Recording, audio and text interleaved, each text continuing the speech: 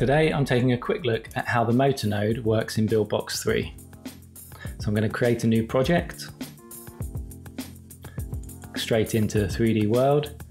Now this, is, we're going to use this as the main part of our car, so I'm just going to resize this a little bit. That'll do for now, and we're going to add some wheels. The tube will be good, that way we can see what we're doing. Those in and let's get this positioned. Um,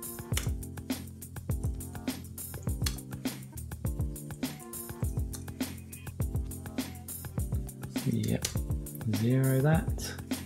And takes a little bit of setting up, but once but once things are in place, uh, it'll work great, hopefully.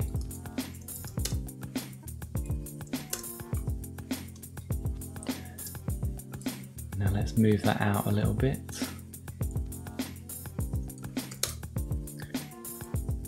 And I'm just going to change the uh, mesh on that to a cylinder.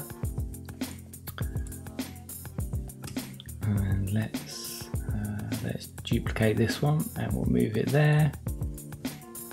Minus 3.5.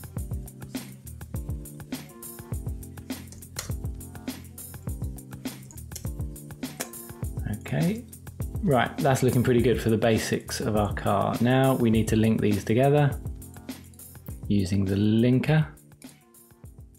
And we're going to link those two together. Now we want to move the linker into the middle of the wheel uh, so that it's going to spin the wheel and they need to be hinge type linkers as well for this to work.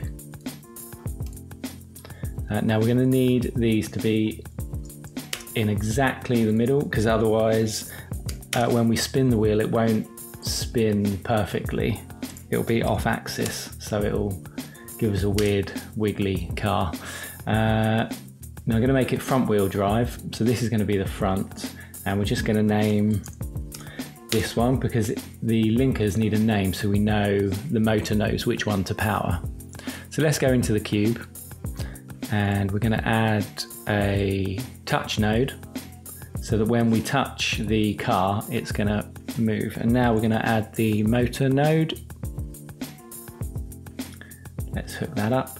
And now this is the important part uh, because if we play now uh, oh that does actually link a name. That's using the is linked to the back one but we want it to power the front one so I'm going to give it the same name as I named this. Um, and let's get a better view of the car. Yeah, so you can see the linkers are actually spinning, they're spinning things the wrong way. Um, I think we want them both on the x-axis. So if we refresh now, okay, that's correct.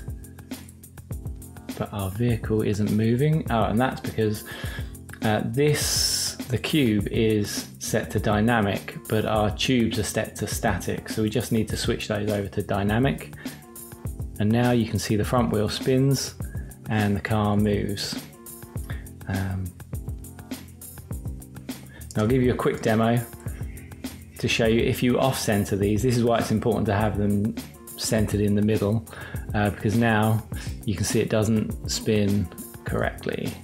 So if we just move that back, refresh, um, and I'll, I'll just quickly show you, you can go into here and you can change the intensity of the motor. So if we set that to 100, yeah, you can see our front wheel spinning a little faster there. And there goes our vehicle. And that's a basic overview of how to use the motor node in Buildbox 3.